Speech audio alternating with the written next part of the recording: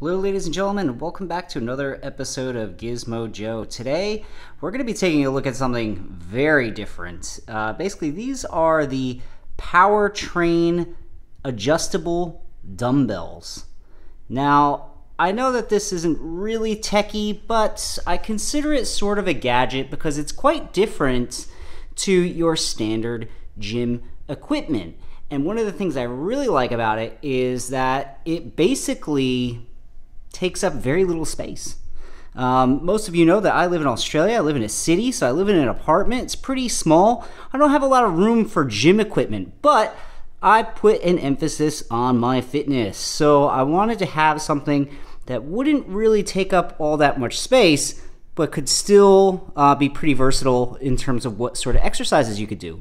So basically, uh, these guys are adjustable dumbbells. So normally, uh, in a normal scenario, you would have a rack with a whole bunch of different dumbbells on it, all different weights. Uh, it's cumbersome, takes up a lot of space, it's heavy, etc. But uh, these guys just essentially function as a bunch of different dumbbells all into one sort of neat little package. So why don't we take a closer look at them? I'll show you how they work and uh, obviously I'll leave a link down in the description so that you guys can pick up a pair of these if you want. Anyway, let's take a closer look.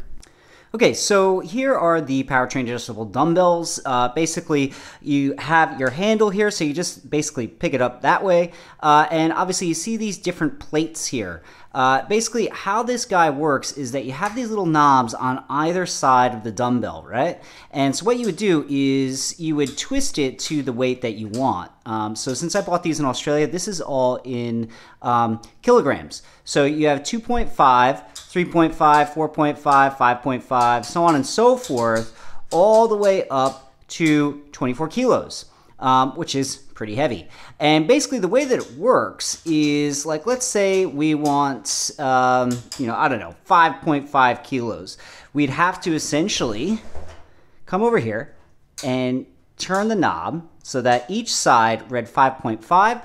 And basically, when we lifted it up, you'll notice that essentially the different plates that are required to make up the weight that you selected are the ones that are lifted up and the rest of the plates stay in the little caddy here. Um, so basically, if you look at it, it's uh, got like a locking mechanism. So when you twist this um, to select your particular weight, what you're doing is you're telling this mechanism to lock certain plates into place. Um, and basically, then you can go about your business and do your exercising, whatever you are going to do. Um, so again, I think that it's an ingenious solution to save space. Um, obviously, like I said before, I live in an apartment. I don't have a ton of space for a lot of gym equipment, uh, but these guys allow me to essentially do a whole bunch of different workouts um, with uh, quite a range of weight. Uh, so I find them to be fairly versatile. Now, uh, when you buy these, they are not cheap. But I think I got mine on sale, so I think I only paid about 250 for them. But they can run quite a bit. Um, like I said, I'll leave a link down in the description. You might be able to find some coupon codes or something like that to essentially get them a little bit cheaper. Uh, but I think they're well worth the money, especially uh, in these crazy times where a lot of people are still working from home. Um, you know you can't get to the gym you potentially can't even leave your house or whatever. So uh, having these is uh, a really really good idea and i would highly highly recommend them. Like i said it's a little bit different for the channel. Um, you know it's not necessarily a tech thing but um, you know it's a sort of ingenious clever little design and I think they're well worth it. Now, I do know in the States that um, I think that some of these are branded, and I think I've actually seen ones that look exactly like this, but they have a particular brand of like a gym or, um, you know, exercise equipment. I can't remember, maybe like Nordic Track, or I don't even know if they still make that or whatever. I don't know. But they run incredibly expensive. These essentially are more generic. Um, I essentially got them, uh, like I said, here in Australia, but it was from an eBay store. Um, good reviews, and uh, I've had them now for a while. I'm very, very happy with these purchase.